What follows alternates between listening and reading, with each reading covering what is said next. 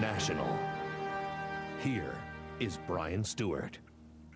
Good evening. Canadians' concerns over tainted meat are still growing tonight, along with that already huge recall list and the number of people who have died in connection with the listeriosis outbreak. Now it's 15 people in four provinces. And if you're worried you may have eaten some of that meat yourself or served it to someone else, you're not alone. The CBC's Laurie Graham reports. For Karen Clark and her brother Tim, this old house brings back memories. It's where their mother Frances grew up. At 89, they say she was still strong and independent, but after a bad fall this summer, she had to move to a nursing home. Then last week, she suddenly became ill, was rushed to hospital, and died within 48 hours. Doctors told the family she had listeriosis. Right now, we can't even get to the grief end of it yet because we're just totally overblown by it. Like, where do you, where do you even start, you know, to understand this? There are now a total of 15 deaths in Canada. Six were caused by listeriosis. Nine are still under investigation. The majority of deaths have occurred in Ontario, but there's been one in BC, and today, one in Quebec and another in Saskatchewan. The death is still being investigated. She is a senior, so she's, it's characteristic of the individuals who've been uh, having listeria disease in the rest of the country. As the number of cases continue to rise, so does the level of anxiety. Jeff Newfield ate maple leaf sandwich meat about 10 days ago. Now he's showing symptoms of food poisoning, and he's worried he could have listeriosis because the code on the package is 97B, a match for the meat on the recall list. I said, well, now this is making sense why I'm running off to the, the washroom and, and, you know, just uh, this morning, for example, uh, uh, just lethargic and not uh, uh, didn't get out of bed till noon. And...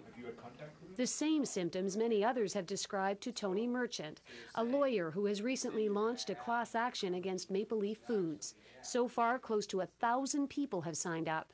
People who have lost loved ones, those who lost money, and others who became sick.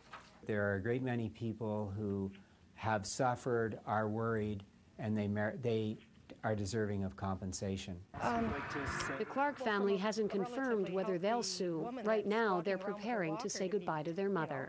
She has uh, four grandchildren and four great grandchildren. That's all left without a grandma now, or a minor mother. So. Yeah. Mm. It's just hard.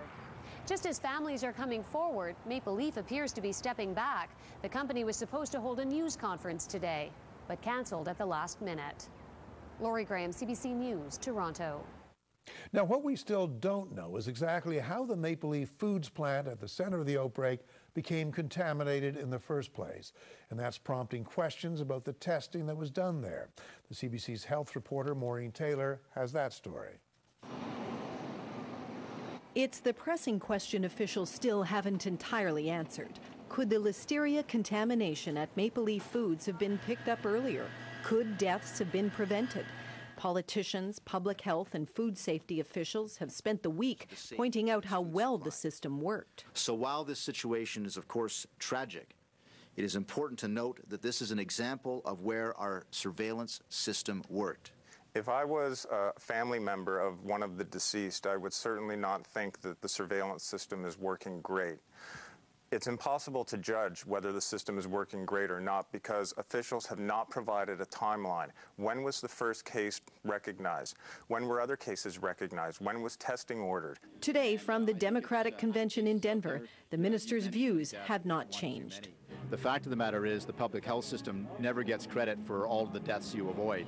And the fact is, in this case, there are probably many deaths that were avoided. If you find it in one package. Last night, Maple Leaf Foods told CBC News the company's own routine testing showed the presence of listeria in the production line before people began to get sick.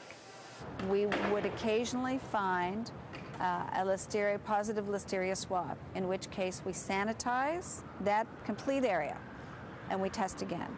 Maple Leaf insists the Canadian Food Inspection Agency had access to that information, but the CFIA says its on site inspector filed no record of positive listeria tests. And this is one thing that we're going to try and establish. When did they know it, and when did they tell us, and what did they do? That's what the team is working on right now. Actually, I, would like to know more about that, Maureen, because it makes sense to me that if, if there is a positive source, that it in any way could potentially come in contact with a food source, then we want to get to the bottom of that.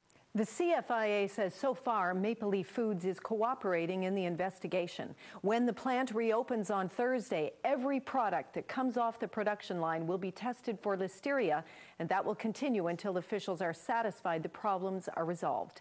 Maureen Taylor, CBC News, Toronto.